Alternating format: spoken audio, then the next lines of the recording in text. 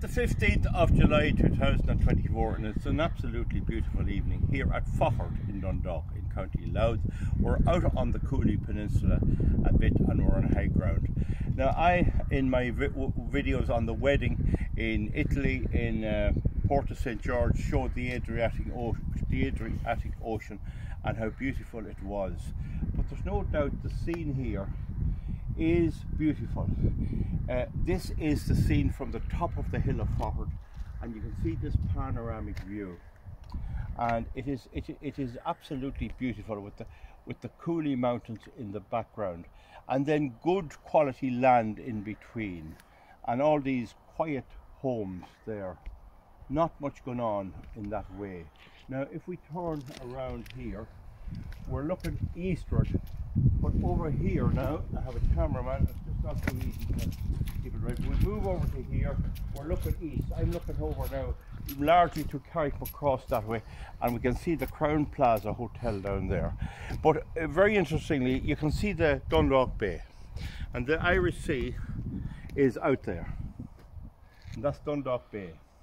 So Dublin would be down here, Belfast would be up here, and the map points to Bel to the north being there and then my country is over here to the west to the northwest lovely feel of barley coming into ripeness here and the birds in it a lovely feel of corn over there uh, maize corn and a mix of that type of land now we're high up so this is the hill of Faughart and the significance of this according to the map and the legend here is that St. Bridget was born here. Okay, St. Bridget, the Irish abbess, is that what you call her? Was born here. So what it says on the map here is, with a clear view of the steep jagged slopes of the north and the flat plains to the south, the hill of Faughart provided an ideal location for a strategic base for an ancient routeway.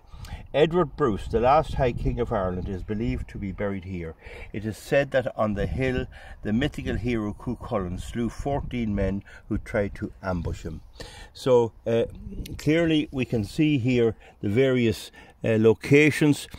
Uh, the, the Feed Mountain, the Black Mountain Slieve Dhu, Carnamada, the Carnamada Mountain, the mo mountain of the dog, Slieve Foya, Slieve, Slieve Nadlock, and a few other places. But this is generally looking uh, northeast like we'd be kind of looking towards the Isle of Man on the Cooley Peninsula. But this view here is really, really lovely on a day like this.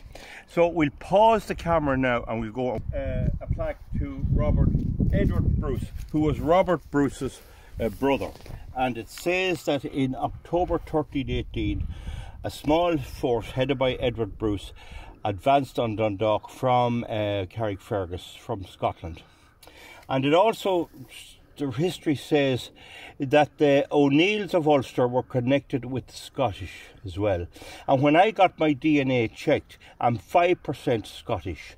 And I know that a small part of my ancestry comes from the O'Neills in Ulster. We were loyal to the O'Neills, to the Earls. And so this would match up. There was interbreeding between the Scottish and the Irish, and that 5% is quite normal. But it says the Bruce campaign in Ireland uh, Edward Bruce was killed here, along with many of his Scottish generals and Irish allies. The Bruce campaign was over. So he met a British Norman army, and they had plenty of people. They were, they were better at breeding than the Irish. But this is the this is the the grave of uh, the Bruce. It says here. Edward the Bruce, King of Ireland, killed in battle at Faughart on the 14th of October 1388 and then it gives it in Gaelic too, uh, same thing in the Irish language. So that's nice. So you have several gravestones around here. The one next door to it uh, has the name of James P. Lennon. And there's McCardle and there's Kelly. And these are names to this day. So it's a high ground. It's about, I'd say the whole thing would be in a statute acre. And there's a church. Now here's an important point. This is the original church and uh, it says here on the 8th of the lunar month was Bridget born in Faughart still to the southeast of the church is a flagstone where Bridget was born So the southeast would be down there. They say there's a flagstone where St. Bridget was born. And uh, this St. Bridget, Ireland's most famous abbess, is said to have been born here. Tradition says that she lived here for some time before going to Kildare. A fragmented cross across of a base is one of the few remains of the early Christian monastery on this site. So the church was done up, but the church remains are here, well worth a visit. What I get the sense of here is the height above, high up, and secondly, the dryness. Just asking my cameraman to turn a horn again. This is the view of the mountain looking northeast to the northern part of this Cooley mountain. And this can be seen from my farm. Uh, funny enough, from, from my land I can see this. So as you see, it's about an acre or thereabouts of a very old and some not so old uh, graveyard. Uh, very high ground. I can see well why it was picked.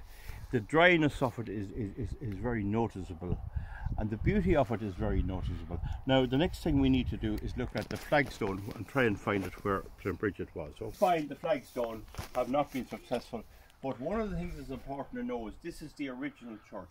You can see the difference in the type of stone about here. Those big stones are the original and then you can see where it was rebuilt again and how they just built it up here. Not a big church. The whole the whole church here wouldn't be uh, I'd say about four, 15 meters that way and about 22 uh, this way. And this is the whole size of it here. It's, it's a small building. It's from here where I'm standing to the camera and then about half as much again. I mean, I'll walk across it here. Now wait. One, two, three, four, five, six. It's eight yards roughly. Eight yards or about that meters. The next thing we want to look at now is the bridge as Well. Right. The funny name, the hip McCrink. There's no, uh, there's no on their souls, uh, sweet Jesus have mercy. McCrink, Carrick Broad, known as the hip. No name for him. That's quite common, but it's a very strange name, McCrink. Anyone with that name, please comment. You see the Rice family over there. Now the perimeter uh, ditch is here. It's a stone ditch probably original. This is, marks the edge of the monastery and on the graveyard and the church and the land drops down. It's very elevated, very, very high. And uh, so here on the site is a well. Now the well uh, has the steps down and clearly it was made just for taking out holy, holy water. Now it's not holy water as such, but it's, a holy, holy well. Now you see all these little garments tied to the well. You'll get this over at Fore in County Westmeath where there was a monastery. But another place I saw this was at Wounded Knee in South Dakota in 1999 at the, great, at the, at the site of the battle where all the Native American Lakota Indians were slaughtered uh, in, on the 29th of December uh, uh, in, the, in, in the winter is this little idea of tying little trinkets, little flowers little things like that and little candles. Now the well itself is just this. It's just a small little step down and I'm after dipping it and it's about between one foot and about five inches deep. Now clearly stones and things have been thrown in and by right it want to be cleaned out and all that. But it is a well. It's wet. The area around is wet. There's a little a little scoop here for uh, taking out water. Now I wouldn't drink that water as such but it's probably a bit stagnant. But the fact that there's still water here after all those years is amazing. It there must be some source. It could be the groundwater from here, but the fact is, I don't know on a real dry year how it is, but there is a well there, and there's the way into it, and there's a little top over it, all done up with stone, obviously from back an awful long time. Now folks, that's the well. Uh, we had a little now, just in case I left it out, this is St. Bridget's Well. This whole site is the historical and reputed birthplace of St. Bridget here in Faughart in County Louth. And it's well worth a visit. It's a lovely dry place. This is the only place where you get any sense of dampness. And I just look at the roof this and it, it goes away up. Yeah.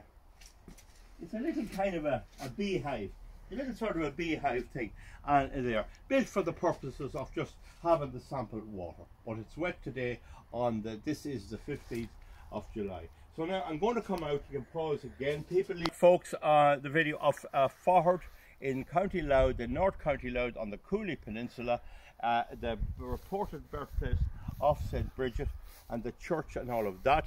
And it's well worth a, a, a visit. It's extremely dry. I get this sense of dryness here for some reason. I mean, you know the way you get this kind of, you'd nearly feel you could lie down and sleep there on the ground. Um, very, very beautiful and uh, on a beautiful evening. So folks, we let you go. Give a thumbs up or a thumbs down. I was over getting uh, some some uh, nuts and bolts for a, a, a repair I'm doing in Dundalk and I called out. Bye!